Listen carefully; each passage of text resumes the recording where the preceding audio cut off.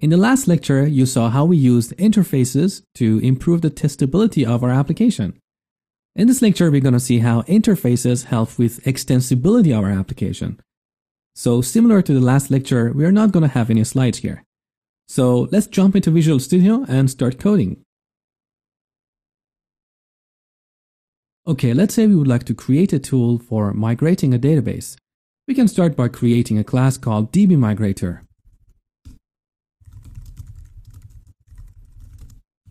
This class can have a single method called migrate, which can be void.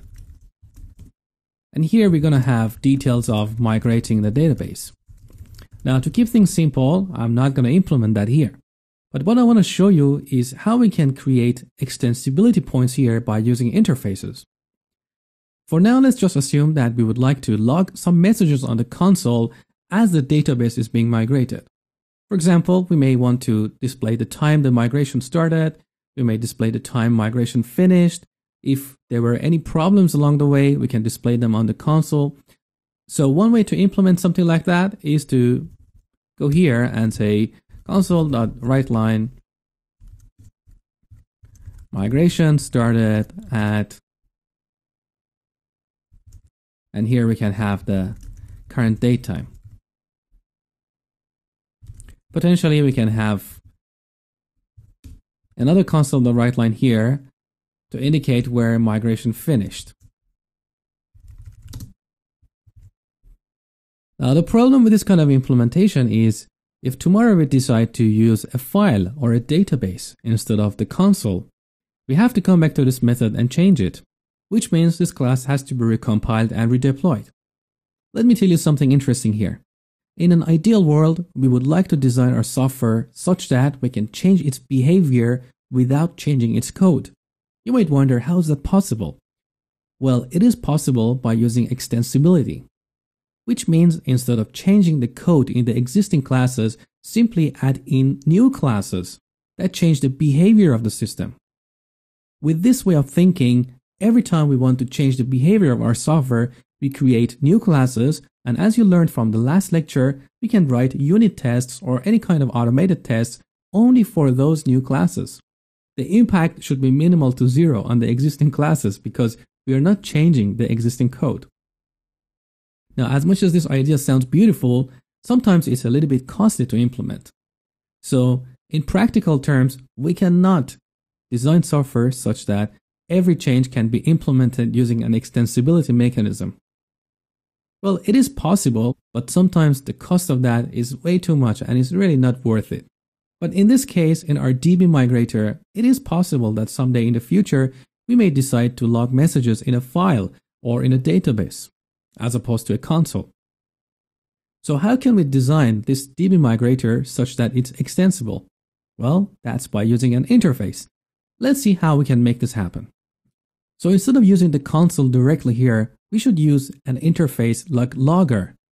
Let's create an interface for that first. So public interface iLogger, note that I'm prefixing that with capital I. Now, a logger may provide methods like log error, which gets a message, or another method like log info, which is for simply logging information messages which are not for reporting problems in the code. It's purely for troubleshooting. Let's put this interface in a separate file to clean up our code. So back here, Alt and Enter, Enter. Okay, now back to the program and I'm going to do the same thing with DB Migrator. I'm going to put it in a separate file. So Alt and Enter, Enter. Now we want to change DB Migrator to get an iLogger interface. So as you learned in the last lecture, we need to create a constructor here. And in the constructor, we inject that interface. So iLogger, we call it logger, and with ReSharper, we can press Alt and Enter here when the cursor is on the logger here and enter again. And ReSharper automatically creates a private read-only field of type iLogger. So the technique we're using here is called dependency injection, which means in the constructor, we are specifying the dependencies for this DB migrator class. And later in the main method, as you will see shortly, we're going to specify a concrete class that implements that interface. So this whole thing is called dependency injection. Now, in the migrate method, instead of directly talking to the console, we're going to talk to a logger. So say logger dot log info, and I'm to cut this message here and paste it here. Except that I need to change this comma to plus because I have to concatenate them to form a string, whereas in the console of the write line, we were passing multiple arguments. Let's remove that. And I'm going to repeat the same thing here. This time I change started to finished. Again, to refresh your mind, remember the analogy I used for the restaurant. I said the restaurant needs a chef. Now, whether that chef is John or Steve or Mary, it doesn't matter as long as that chef has some capabilities to a given standard. It's the exact same scenario here. So DB Migrator doesn't care who's the actual logger. An instance of any class that implements this interface can be passed in the constructor here. So there is no coupling between DB Migrator here and that concrete class. Now let's create a concrete class that implements that interface. So public class, let's call it console logger because we use console for logging. iLogger, not the red underline, that's because we have not implemented the interface yet. So we press Alt and Enter and Enter. Now here I'm using ReSharper, so it opens up this dialog box, which allows me to choose which methods I would like to implement. And by default, both of them are checked.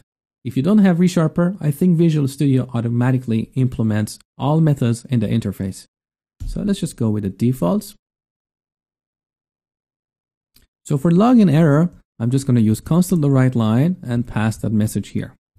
And to make it a little bit more user friendly, we can perhaps change the color of the font.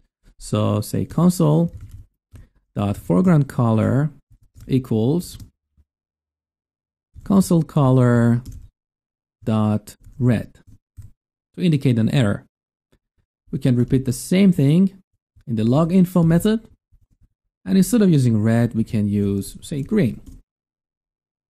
Now let's put this class in a separate file.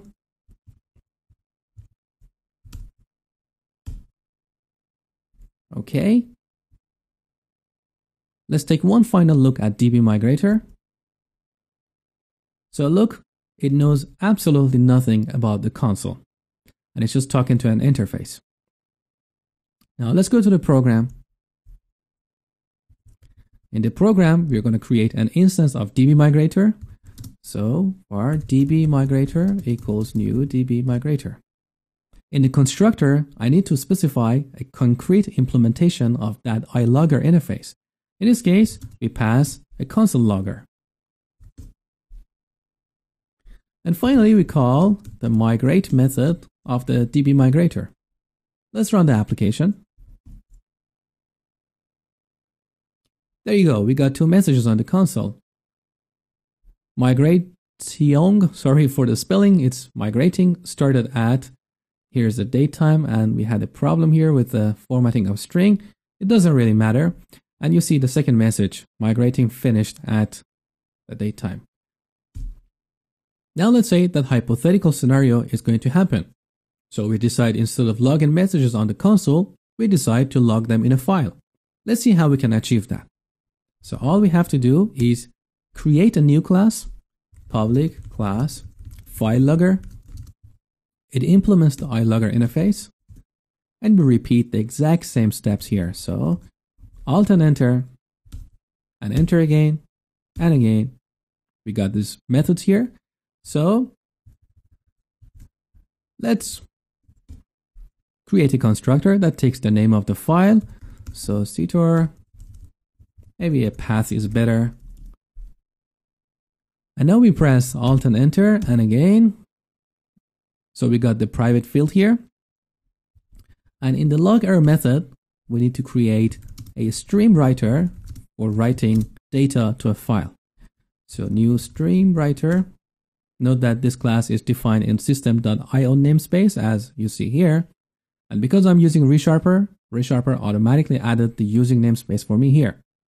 So it makes your life much easier. Back here. Now in the constructor for stream writer, I need to specify the path. So I use that private field. And the second argument specifies whether we would like to append to that file. Of course, yes. Then we can call the write line method and pass that message here. There is just one problem here.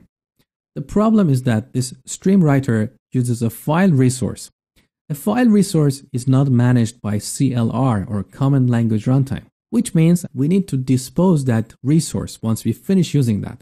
The easiest way to do that is to wrap this whole block here in a using statement. So let's see what happens. I move this var stream writer inside using.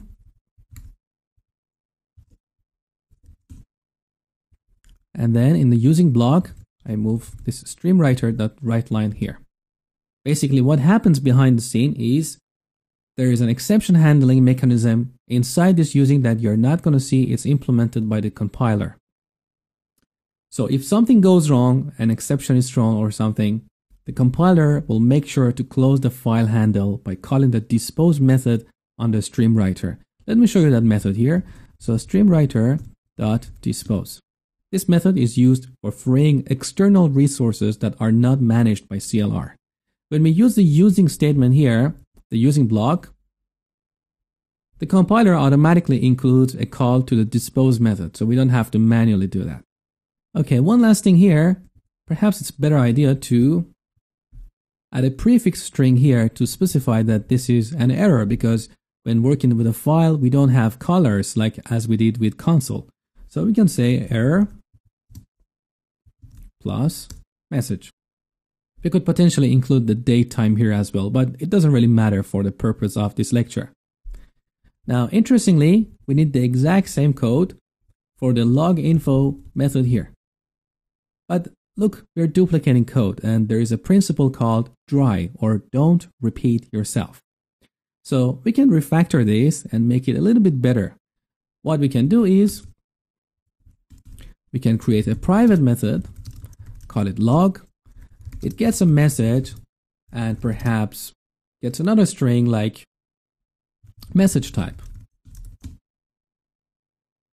Let me scroll down so you can see this a little bit better. And then I'm going to move all this code inside this method. Instead of using this hard-coded error prefix here, I'm going to use message type plus colon and a space. And then I'm going to reuse this method in both log error and log info methods. So see, there's no code duplication anymore. So I'm just going to call log, pass the message, and the message type is going to be error. And we do the exact same thing here with log info. Now, even a better way to do this is to use an enumeration. So you should be familiar with enumerations, but again, I leave that to you as an exercise because I don't want to get too distracted with best coding practices in this lecture because we just want to see how we can use interfaces to create extensibility points in our application. So I think for now, that should do the job. Let's put this class in a separate file. So I'll put the cursor here, Alt and Enter, and Enter. Good. Let's review what we have done so far. So back to our program. See, we created a DB migrator and passed a console logger instance to its constructor. And finally here, we called the migrate method. Let's take a look at DB migrator. So DB migrator talks to an interface. It doesn't know what concrete class is going to implement this interface. It doesn't really care. Now at this point, when we run the application, messages are logged on the console.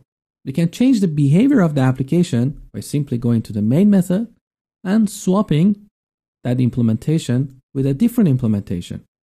So instead of console logger, I'm going to use file logger. Specifying path. So I'm going to use c colon backslash backslash say log.txt. Actually, this may throw an exception on my machine because I'm running this in a virtual machine and I don't think there's access to the root of C drive. So I'm going to change the path to projects backslash backslash log.txt. Let's run this.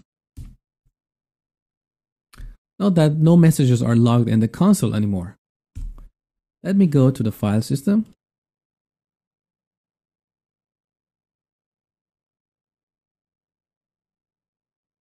So C drive, projects, look, we have a log file here.